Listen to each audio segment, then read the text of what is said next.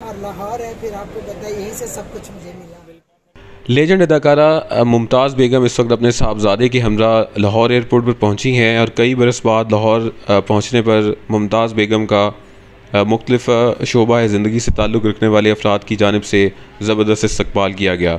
इस वक्त journalist community culture journalist foundation of Pakistan का वफ्त मुमताज़ बेगम का इस वक्त इस्तकबाल कर रहा है। और लोगों की एक बड़ी तादाद मुमताज़ बेगम के इस्तकबाल के लिए लाहौर एयरपोर्ट पर मौजूद रही। लाहौर एयरपोर्ट पहुँचने पर मुमताज़ बेगम जज्बाती भी नज़र आई। लोगों के जो मोहब्बत उन्हें मिली, उसे देख कर मुमताज़ बेगम काफ़ी ज़्यादा जज्बाती भी हुई। इस हवाले से मज़ीद जो मनाजिर हैं, वो आप इस वीडियो में मुलाहजा कीजिए।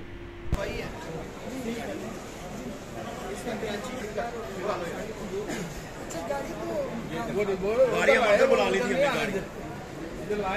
हम गाड़ी उधर अंदर ले आए थे। लंबा जो है चले। पैगाम अच्छी तेजें कोई आने का।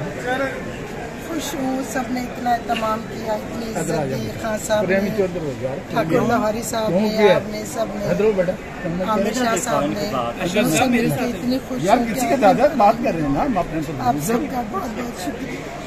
चले जी। इंशाल्लाह क्यूट है? सबसे मिलके बहुत खुशी हुई है। अशरफ खान साहब ने बड़ा अच्छा एहतमाम किया। ठाकुर साहब ने किया आमिर साहब ने। आज आप बहुत खूबसूरत लग रही है माशाल्लाह। अच्छा बड़ा इम्प्रेस हूँ आपको तमाम लोगों के नाम याद हैं थोड़ी सी मुद्दत में। बहुत शुक्रिया आप सबका। और लाहौर है फिर आपको पता है यहीं से सब कुछ मुझे मिला। बिल्कुल ऐसे दौलत शहरत इज़्ज़त अल्लाह का बड़ा एहसान है। और आज खान साहब ने फिर यहाँ बुला लिया तो बड़ी खुशी हुई है लाहौर लाहौरी साहब कहते हैं आ जाओ आ जाओ तो हम आ गए वो कहते हैं जिन्हें लाहौर नहीं देखे जमे नहीं ये जम के दोबारा जम आ जाओ। अच्छा जी वो वो शिद्दत से आपका इंतज़ार कर रही है। चले चले वही हमारी एक्टर जो है। और बेटा